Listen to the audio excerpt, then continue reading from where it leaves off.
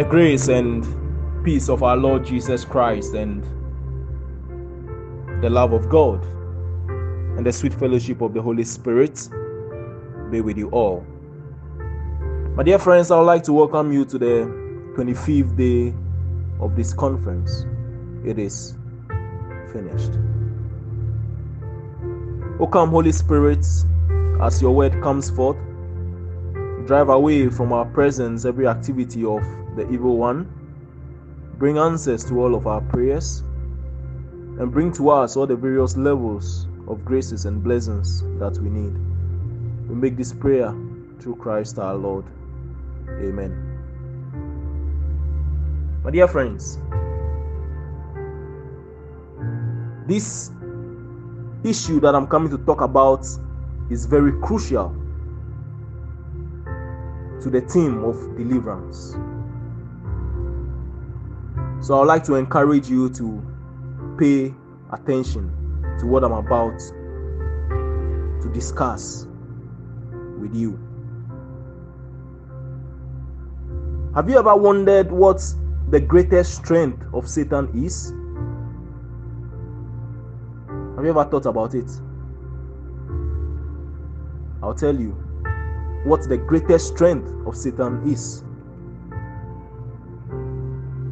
The thing that makes him look powerful over your life is in one word the flesh. The flesh. The flesh is the thing that makes him look powerful over your life. Listen up. No matter what level of deliverance you go through,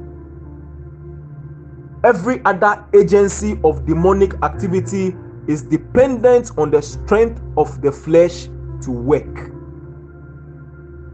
Meaning that you are not truly delivered when you are still alive to the flesh. You are not truly delivered when you are still alive to the flesh. And this is where the burden of laborious, continuous deliverance in futility comes from. The attempt to continue to cast out spirit, cast out spirit, and it doesn't seem to end because people are still in the flesh. When you dwell in the domain of the flesh, you get to a point where the spirits on their own can go and come without being casted because the gateway for a stronghold has been created by your affinity to the flesh. And that is why these evil spirits mock we men and women and people of God. Before you say, in the mighty name of Jesus, they are gone, and you think a miracle has happened. No, a miracle didn't happen. That person has reached a point where the spirit can come and go on their own because a gateway for the stronghold has been created. So the thing is watching, it knows. It leaves before you say Jesus because it knows that it can come back in. So people continue to receive temporary results, temporary breakthrough, temporal deliverance. But I want you to know that there is a way that God can grant us grace to establish victory once and for all. It is possible that you can win today and win tomorrow and stay a winner. It's possible that you can stand strong today, stand strong tomorrow, and then you will now be the person who will bring other people for deliverance because you are a possessor and your possession has remained with you and you can now turn to others and begin to communicate the dimensions of the light and power that God has brought to you. And one of the mysteries that produces healing and deliverance is the mystery of the blood, the mystery of light, the mystery of the cross, the ministration of the Holy Spirit. We've already dealt with the blood of Jesus and the issues relating to it. But I want you to know that as far as deliverance is concerned, the greatest strength of Satan is the flesh. The flesh, that's the weak point. So Romans chapter 7, verse 18 will say, For I know that in me, in this flesh, dwelleth no good thing. For I know that in me, in this flesh, dwelleth no good thing. Mind you, this is not a baby Christian talking, no. This is an apostle. An apostle who has been granted access to mysteries, and he is opening unto us the tragedy of the, fre- of the flesh and the imminent doom of anyone who chooses to walk in the realm of the flesh. So he's not just talking about his body necessarily, he's talking about a dimension of our being. That is, in my flesh dwelleth no good thing. That means that if you dwell in the realm of the flesh, you have given Satan an advantage, the biggest advantage over your life. It doesn't matter what else you have or are. Once you live in the flesh, you have submitted yourself for defeat. So, what is the flesh? I explain to you what the flesh is. What is the flesh? The flesh is defined as a nature of living, a way of thinking, and a way of acting that is against the ways of God. That is the definition of the flesh. The flesh is defined as a nature of living, a way of thinking, a way of acting that is against the ways of God. So, this kind of living affects your life, it affects your mind, it affects your body, it affects every part of you, and it is against the ways of God. So, every time the Bible talks of the flesh, remember it is a way of living, it is a way of thinking, it is a way of acting that is against the ways of God. So when scripture talks about the flesh, the understanding is twofold. The first one is sin, the natural man, the original sinful nature. We are referring to the person who is not regenerate. No matter how innocent you are, the prophet put it nicely in iniquity did my mother conceive me. So you did not have to do anything directly.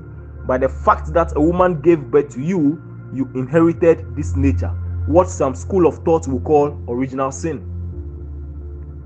So I'm talking about the very nature of the fallen man, the one who has not encountered the life, the Zoe of God, that person who is born and living in the flesh, the sin nature.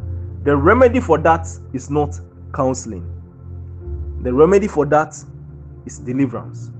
Deliverance through what we call salvation, signified by baptism. So, salvation here is a form of deliverance. It is a special deliverance to remedy that generational negative pattern using baptism as the outward sign to legislate that spiritual mystery. So, listen, this sinful nature I'm talking about, you can't correct it, you can't cast it out, you can't bind it. The only way to be saved from this is through baptism and your belief that Jesus is Lord and He died for your sins. No amount of all nights or prayer sessions will take this original sin out except baptism. So, are you beginning to see that it is not every matter that requires the level of effort that we put into prayer? All you need is understanding of the mysteries of God and applying them when it comes to some issues. So, this particular sinful nature that we are talking about, the original sin nature, is not a nature that you correct or renew. It has to be taken away completely by the substitutionary work of Jesus Christ, what he did on the cross.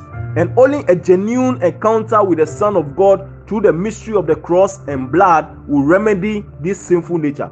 That is why the Bible says, This is the record that God has given us eternal life, and the life is in His Son, that whoever has the Son has life.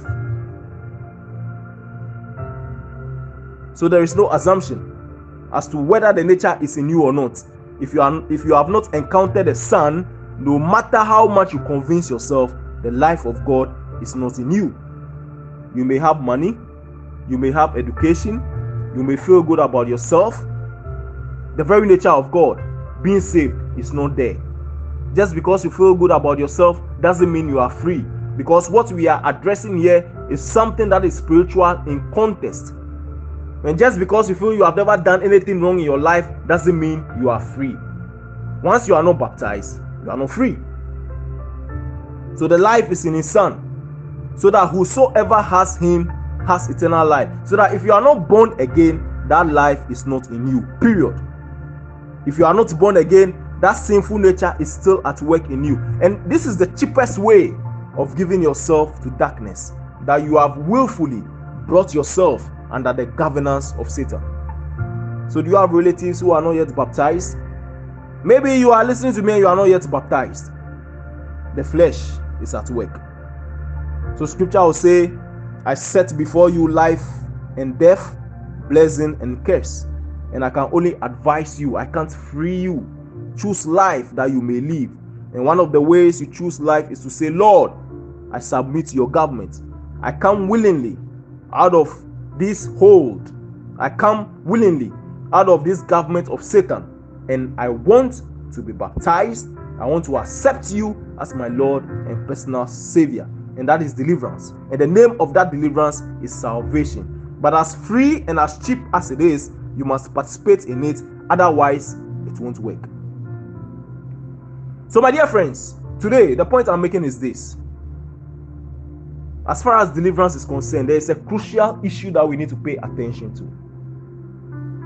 And that crucial issue is that the greatest strength of Satan is the flesh. And I defined the flesh. The flesh is defined as a nature of living,